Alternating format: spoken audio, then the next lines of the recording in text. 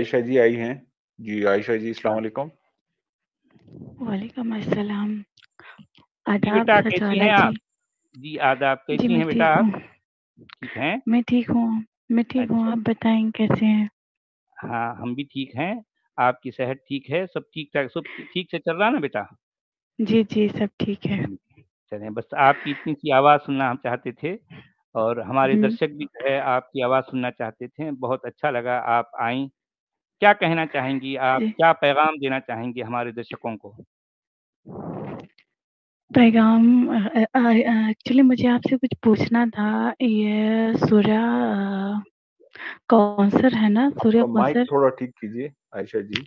आपकी आवाज़ हाँ, हाँ, हाँ, हाँ, हाँ, वो जो सूर्या कौसर है ना जी, अ, जी। उसकी मुझे अ, वो चाहिए थी मतलब उम, ट्रांसलेशन एग्ज़ैक्ट क्या है उसकी? हाँ, एग्ज़ैक्ट एग्ज़ैक्ट मीनिंग क्या है उसके लिए? अब मीनिंग तो क्या है भई अगर वो अल्फ़ाज़ हमारे सामने हैं, तो सबसे हुँ, हुँ। पहली मुश्किल तो ये होती है कि अल कौसर का जो है जो भी ट्रांसलेशन करते हैं, वो। ट्रांसलेटर्स को या इंटरप्रेटर्स को आज तक पता नहीं चला अल कौसर की एग्ज़ैक्ट मीनिंग क्या है। हुँ, हुँ। अल कौसर को अगर हम जो है अरबिक रूट की तरफ़ ले जाते हैं, तो ये ये जो है कसरा काफ से रीन रे। तो कसर का मतलब होता है ज़्यादती, ज़्यादा। तो अब हुँ। ये हो सकता है कि कौसर जो है बहुत ज़्यादा, कि हमने तुमको बहुत ज़्यादा अता किया। ठीक है भाई बहुत ज़्यादा क्या अता किया, इसमें कोई डिफिनेशन नहीं है। तो अ, फ़सल्लि का वनहर तो बस तू नमाज़ पढ़ अपने रब के लिए और जो है इसमें गला अब ये नहर का मतलब हमारे जितने भी ट्रांसलेटर्स कहते हैं, वो कुर्बानी। करना। लेकिन नहर का मतलब होता है गले का नरखरा, नरखरा समझना। तो अब वो कहते हैं कि कुर्बानी में एक जानवर का गला काटा जाता है, तो वो इस माना में कुर्बानी करते हैं, इसका ट्रांसलेशन करते हैं। मगर ये अभी तक समझ नहीं आया कि वन्हर का एग्ज़ैक्ट मीनिंग क्या है? ये पता नहीं चलता। उसके बाद इन्ना शानिअक हुवल अबतर, शान कहते हैं, शाअन। शानिअ का जो है जो है शा शाअन का मतलब होता है दुश्मन या जो है हुँ। मुखालिफ। तेरा जो मुखालिफ है, वही जो है जड़ कटा है। उसी की जड़ जो है कट गई है। ये इसका मतलब है। हाँ, मतलब अगर आसान में बोला जाए आसान तो इसका कोई सिर-पैर नहीं है इस आयत हाँ, का, सिर-पैर तो इस खैर नहीं है। सूरत का। आपको कुरान की बेशुमार ऐसी आयतें हैं, बेशुमार ऐसी सूरतें हैं, जिनका कोई ना सिर है, ना कोई पैर है। ये आप बिल्कुल सही कह रहे हैं, सिर-पैर नहीं है। हुँ। सिर-पैर नहीं है। जी। ये बात है। नहीं, आज एक अ, मौलवी साहब से मेरी बहस हो गई थी इसी बात को लेके। तो अच्छा। वो आए घर में तो उन्होंने कहा कि आप ऐसा कीजिए सूर्या कौसर पढ़िए और अच्छा।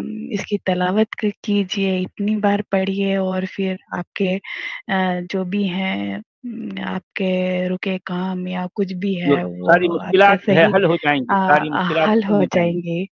अच्छा, तो अच्छा, मैंने अच्छा। हाँ। उनसे पूछ लिया, मैंने कहा स वो तो ठीक है लेकिन मौलवी साहब इसका मीनिंग भी बता दीजिए मुझे। जी। तो तो वो लगे इधर-उधर की मारने एक्चुअली में मीनिंग उनको खुद पता नहीं था। तो जी। वो जी हाँ, तो जी हाँ। इधर-उधर की मारने स्टार्ट हो गए, नहीं ऐसे नहीं ऐसे, ऐसे नहीं ऐसे।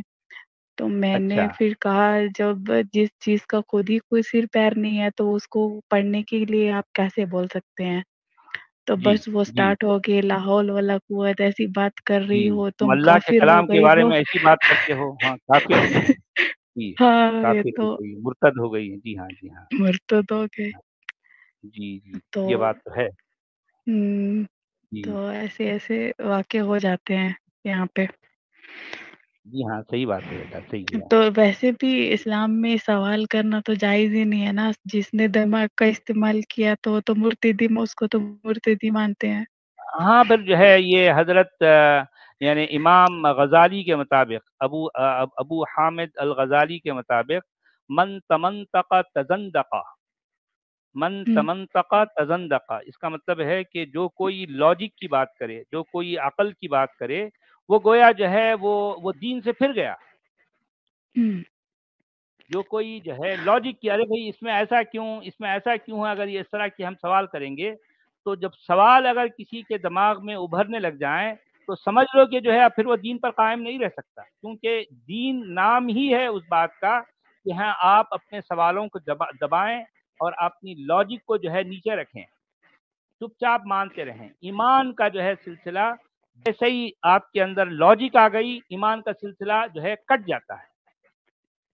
ईमान का सिलसिला खत्म हो जाता है। ये बात तो है, सही है, ऐसा ही है। लेकिन मैंने यहाँ पे देखा है मतलब बहुत सारे लोगों को बहुत बड़े-बड़े अ, उम, न लंबी दाढ़ी वालों को बहुत-बहुत अ अ, ज्ञान देने मतलब बहुत-बहुत से ऐसे लोगों को सुना है जो बड़े से बड़ा वो देते हैं। उनको खुद उन अ, कुरान की असलियत नहीं पता होती। वह उनको खुद उसकी असल में उसमें है क्या वो नहीं पता होता। बस अरबी में रट लिया है तो रट लिया है। बहुत सारे हाँ। लोगों को मैंने देखा है। अगर मैं ये सोचती हूँ अगर ये उसकी हकीकत जान लें और उसमें क्या है वो अच्छे से अच्छे से विद ट्रांसलेशन पढ़ लें, तो। मुझे लगता है 80% खुद ही छोड़ देंगे। जी हाँ, ये बात तो है। अगर जो हुँ। है हमारे मोमिन भाई मानने की जगह जानने लग जाएँ। हुँ। मानने को पीछे रखें, जानने को आगे रख आगे रखने वाले बन जाएँ, तो मैं समझता हूँ कि इनका बेड़ा पार हो जाएगा। इनमें के 50% लोग जो है लॉजिकल हो जाएँगे वो हमारे रास्ते पर चल पड़ेंगे।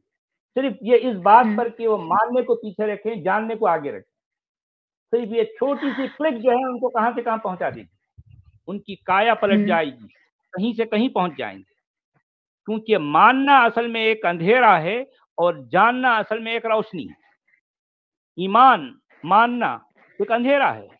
इल्म, जानना एक रोशनी है। अब आप सोचें कि जो है जब तक इंसान मान रहा होता है, तो वो अंधेरे में रहता है। जैसे ही उसने जानने की कोशिश की, वो या उसके हाथ में जो है टॉर्च आ गई, उसके हाथ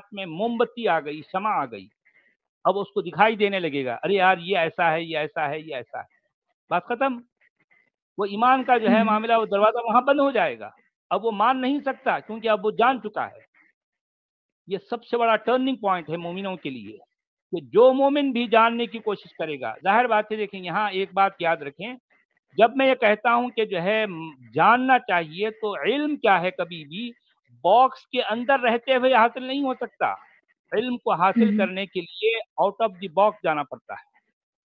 जितने बॉक्सेस के अंदर वो है, उन सबको तोड़ना पड़ता है। वो अंडे के। खौल से बाहर आना पड़ता है, तब जाकर चूज़े को दुनिया नज़र आएगी। जब तक वो अंडे के खौल के अंदर है, वो उसको लगेगा कि जो है दुनिया इतनी है। मोमिन का हाल यही होता है। वो कुल मिलाकर जो है कुरान है, वो जो है रसूल है, वो अल्लाह वहीं घूम रहा है ये सर्कल है।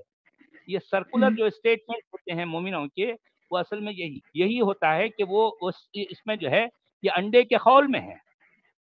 अंडे के अंदर है, अंडे के शेल के अंदर है।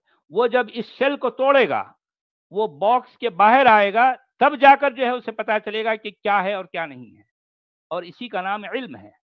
इल्म जो है अंडे का तर अंडे के अंदर रहते हुए हासिल नहीं होता। अंडे के शेल को तोड़ना पड़ता है। तो मोमिन अगर ये हिम्मत कर लें, ये जुरत कर लें, ये हौसला पैदा कर लें कि वो वो जो है इस शेल को तोड़ना चाहेंगे, तोड़ने की हिम्मत रखते हैं, तो फिर जो है यूँ समझिए कि हिम्मत मर्दा, वो उनकी हिम्मत ही जो है उनको जो है रोशनी का सफ़र पे जो है गामज़न कर देगी। ये मेरा उनसे कहना होता है हमेशा। जी। मैं ये कह रही हूँ पिछले कुछ इंसिडेंट से मैंने ये मतलब ऐसे मुझे ये फ़ील हुआ, ऐसे सोचा सोचा कि ऐसी हकीकत है ये कि अ, कुछ लोग ऐसा है यहाँ पे मोमिन ऐसे हैं मतलब अ, कहीं पे भी पूरे वर्ल्ड में देखा जाए, ऐसे मो ऐसे हैं कि उनको पता है हकीकत क्या है। उनको हुँ, हुँ। पता है कि इसमें क्या है, हदीस में क्या है या क्या है कुछ भी।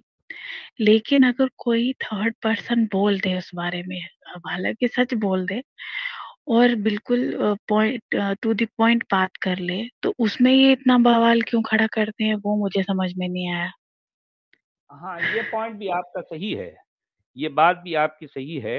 उनको ये पता होता है कि जब आपको आपको ये भी मालूम है ना कि हमारे जितने भी स्कॉलर्स हैं, नाम निहाद, ये सो कॉल्ड स्कॉलर्स, जो उलमा हुँ। जि जिन्हें कहा जाता है, इनको हर चीज़ का पता है कि हदीस के भंडार में क्या-क्या है। उनको सब पता है। हुँ। हुँ। अच्छा, अब ये जो वबाल चल रहा है पूरी दुनिया में, एक धूम, एक जो है एक तमाशा खड़ा कर रखा है इन्होंने। अरे भाई इनको सब पता है कि जो है इनकी हदीसों की किताबों में, इनके भंडार में क्या कुछ है। और फिर जो है लेकिन वो वही किताबों में जो कुछ है, एक खातून ने अगर अपनी ज़बान पर ला दिया, अगर कह दिया, तो इन्होंने जो है आसमान सर पे उठा लिया। आसमान सर पे उठा लिया। लगा कि इसने कैसे बोल दिया? अरे भाई ये जो कुछ बोला है, ये उसने वही बोला है जो इनके इमाम बुखारी ने बोला, जो इमाम तिरमिज़ी ने बोला, इमाम अबू दाऊद ने बोला, इमाम निसाई ने बोला, सब सभी इनके अइम्मा, इनके हुँ। मुहद्दिसीन इनके मुहद्दिसीन ने जो कुछ बोला, उस खातून ने वही बोला। नुपुर शर्मा ने कुछ भी गलत नहीं कहा। वही हाँ। कुछ कहा है जो इनके जो है जो इनके इनके मुहद्दिसीन ने कहा है। इनके अम्मा जो ये इमाम कहलाते हैं, जो जिनकी सिहा सित्ता जो किताबें जो है इनका जो ज़ख़ीरा है, जो जो है द मोस्ट ऑथेंटिक ऑथेंटिक जो हदीस का ज़ख़ीरा है, उनमें है। उनमें ये सारी बातें हैं। तो उसने अगर जो है उन्हीं किताबों को कोट किया अपनी ज़बान से, तो इतना वावेला, इतना वबाल खड़ा हो गया।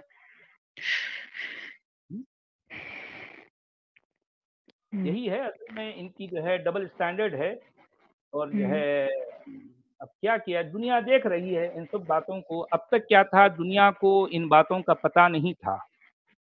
वो हुँ, हुँ। इस्लाम और। इस्लाम मानने वालों की असल जो जो रियलिटी है, उनकी जो असलियत है, ये दुनिया के सामने अब से पहले वाजे नहीं हुई। थी अब ये इंटरनेट के माध्यम से, इंटरनेट की वजह से ये सारी बातें दुनिया के सामने क्लियर कट आ रही है। दुनिया को पता चल रहा है कि क्या कुछ है। दुनिया देख रही है। जी।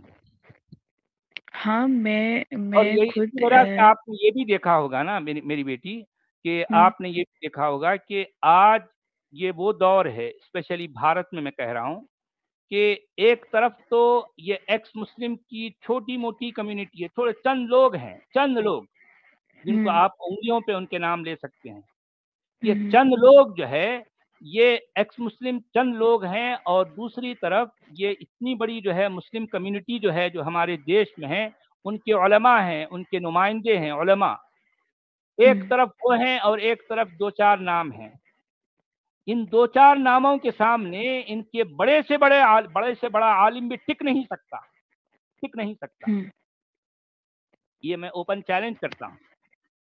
अगर हाँ, मान लें। नेशनल टीवी पर अगर एक तरफ़ मैं हूँ और दूसरी तरफ़ इनके उलमा की अगर जो है मान लो 10-20 उलमा भी हैं और एक तरफ़ मैं अकेला सच वाला, मैं कुछ सवाल पोस्ट करूँगा और दुनिया देखेगी कि मेरे सवाल क्या हैं इस्लाम को लेकर और ये लोग लाइफ मेरे सवालों का क्या जवाब देंगे, दुनिया देखेगी।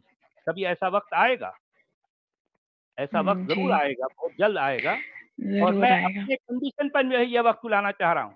हालाँकि मुझे ऑफ़र्स आ रही हैं कि आइए आप जो है आप जो है नेशनल टीवी पर आइए, फलाँ टीवी पर आइए, मुझे ऑफ़र्स आ रही हैं। लेकिन मैं अपने कंडीशन पर जाना चाह रहा हूँ। मैं अपना चेहरा नहीं दिखाना चाहता।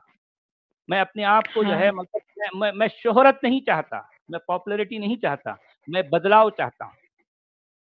मैं रियल जो है जो चेंज है वो लाना चाहता हूँ। मैं सिर्फ़ यह है शोहरत की खातिर मैं भी जो है चेहरा दिखाकर कहीं भी चला जाऊँ, मैं ये नहीं चाहता। मैं अपनी कंडीशन पर जो है चेंज लाना चाहता हूँ। अगर उलमा को वाक़ई जो है अगर तम ये जो है मेरे सवालों का जवाब उनके पास है, तो लाइव चैनल पर नेशनल टीवी पर जो है एक तरफ़ मैं अकेला हूँगा, अकेला और दूसरी तरफ़ इनके जो है उलमा की भले जितनी सारी तादाद हो, मुझे उससे कोई फ़र्क नहीं पड़ता। मेरे सवालों का जवाब ये सारे उलमा मिलकर देंगे, एक-एक से मैं एक-एक सवाल करूँगा। ये इसके लिए मैं अभी भी तैयार हूँ। नेशनल टीवी पर मुझे बुलाया जाए, एक तरफ़ मैं रहूँगा और दूसरी तरफ़ इनके उलमा रहेंगे और दुनिया देखेगी कि सवाल क्या हैं और जो है इनके उलमा के पास जवाब क्या है। दुनिया अपनी आँखों से देखेगी। जी। जी। जी, अब मैं इजाज़त लेना चाहूँगी। बेटा ठीक है, अपना ख़्याल रखिए आप। जी, बहुत शुक्रिया। बहुत-बहुत बहुत शुक्रिया आपका। बहुत शुक्रिया बेटा। जी।